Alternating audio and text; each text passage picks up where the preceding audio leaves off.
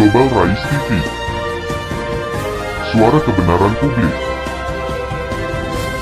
Breaking News. Wakil Bupati Bangka meletakkan batu pertama pembangunan Masjid Baitul Afkar Stisipol Pahlawan 12. Global Rise TV Sungai Liat, Sabtu tanggal 15 April tahun 2023. Sambutan Wakil Bupati Bangka Syahbudin SIPM Trip. Peletakan batu pertama Masjid Baitul Afkar Kampus Stisipol Pahlawan 12. Pembina Yayasan Cendikia Bangsa Bapak Insinyur Haji Tarmizi, Haji Saat MM, Ketua Yayasan Cendikia Bangsa Dr. Andes Maswan beserta pengurus, Ketua Tim Penggerak PKK Kabupaten Bangka Ibu Yusmiati Mulkan, Pak Sekda Bapak Dr. Andes Haji Andi Hudirman, Ketua, Stisipol Pahlawan 12 Dr. Darul Arkum MSI, beserta pengurus Sivitas Akademika. Anggota DPRD Kabupaten Bangka Marianto, Ketua MUI Kabupaten Bangka Jaja Sulaiman atau yang mewakili, Camat Sungai Liat Ramzi SSTP, para mahasiswa sarjana dan pasca sarjana, Stisipol Pahlawan 12. Pimpinan Bank Sumsel Babel Sungai Liat Bapak Santoso, Sabtu tanggal 15 April tahun 2023. Baik, Tentunya ucapkan- merupakan kebahagiaan bagi saya untuk mewakili Bapak Bupati, untuk menyampaikan sambutan yang materinya sangat spesial, yaitu peletakan batu pertama pembangunan Masjid Baitul Afkar rumahnya Cendikia. Tentunya mudah-mudahan seperti yang disampaikan Bapak Bupati periode sebelumnya, insya Allah karena seperti yang kita ketahui bersama, bahwa mahasiswa-mahasiswi yang duduk di depan meja terdepan dunia pemerintahan ini, semuanya orang-orang yang saya yakin dan percaya pembangunan masjid itu menjadi tanggung jawab kita sesama muslim. Kami mengajak kita semua agar terus menjadikan perguruan tinggi ini sebagai institusi pembentukan karakter dan memiliki integritas, tidak hanya cerdas secara intelektual, tetapi juga secara ritual dan sosial. Multidimensi sebagai benteng yang sangat ampuh untuk mengatasi berbagai permasalahan bangsa saat ini, dan juga multidimensi, ucap Syahbudin. Untuk mewujudkan pembangunan manusia yang berdaya saing yang memiliki karakter moral yang luhur, diperlukan sarana dan prasarana yang mendukung untuk menunjang berbagai aktivitas mahasiswa, termasuk pentingnya masjid kampus. Keberadaan masjid kampus yang representatif memiliki peranan yang penting strategis sebagai daya tarik bagi mahasiswa dan melaksanakan berbagai aktivitas, tidak hanya aktivitas keagamaan tetapi aktivitas sosial lainnya bagi seluruh sivitas akademika perguruan tinggi, terang Syabudin. Dalam kesempatan ini kami mengajak kita bersama untuk saling membantu pendirian Masjid Baitul Afkar ini. Semoga terrealisasi sesuai dengan target, Kabupaten Bangka sangat mengapresiasi pendirian sarana pendidikan dan sarana lainnya, telah diberikan dukungan untuk pendirian sarana di Stisipol Pahlawan 12 ini, seperti pendirian gedung magister dan pembiayaan riset dan pengabdian kepada masyarakat.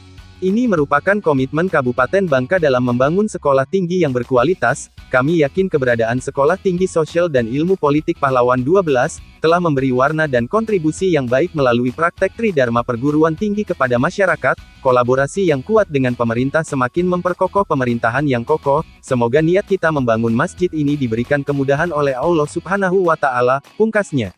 Global Rise TV Bangka, Imron mengabarkan. Pasca Sarjana Stisipol Pahlawan 12 hadirin yang berbahagia. Alhamdulillah tentunya merupakan suatu kebahagiaan yang tersendiri bagi saya pada hari ini diberikan kesempatan mewakili Pak Bupati untuk hadir dan berdiri di atas podium ini untuk menyampaikan sambutan yang materinya itu hari ini sangat spesial di bulan Ramadan ini yaitu peletakan batu pertama pembangunan masjid Al Abkar ya kalau salah tadi Baitul Abkar rumahnya orang cendikia oleh karena itu tentunya mudah-mudahan seperti yang disampaikan oleh Pak Bupati periode tahun 2000 sebelumnya itu insya Allah ya kan diijabah oleh Allah apa yang eh, menjadi keinginan kita bersama pada kesempatan hari ini. Nah, orang-orang out gali lah kan pukuhak-pukuhaknya dan saya yakin percaya karena memang pembangunan masjid itu menjadi tanggung jawab kita sesama muslim Pak Sekda ada di depan selaku ketua tim TAPD kelar Pak masalah nah, apalagi Ibu Ius juga kan tinggal sebelum tidur bisikkan dengan Pak Bupati. Ya, kelar masalahnya. Bapak Ibu sekalian, tentunya dalam kesempatan ini eh, kami mengajak kita semua untuk terus menjadikan perguruan tinggi ini sebagai institusi pembentukan manusia yang betul-betul memiliki karakter dan integritas tidak hanya cerdas secara intelektual tetapi juga tentunya cerdas secara ritual dan sosial. Kecerdasan multidimensi ini sebagai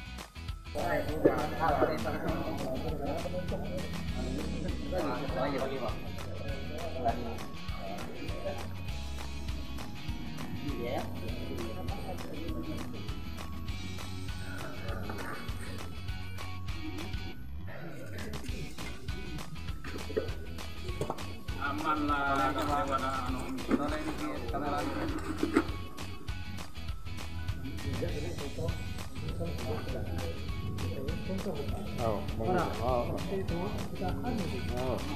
Oh, bagus.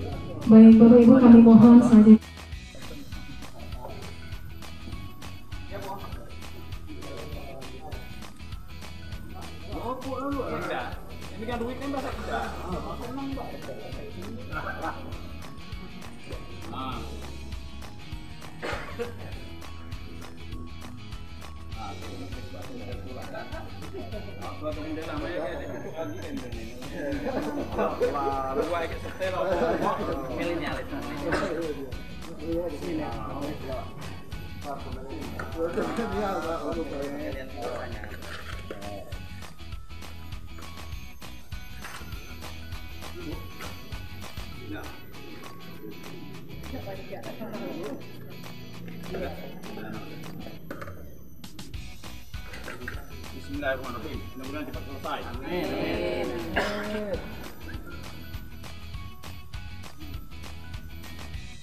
Alamat dek kami upah main ya.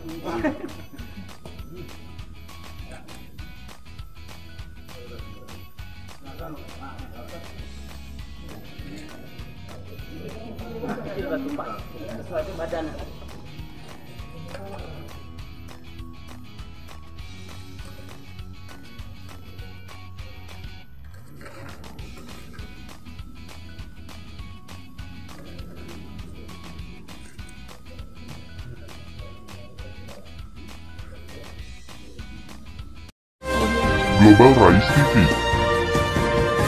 Suara kebenaran publik. Breaking News.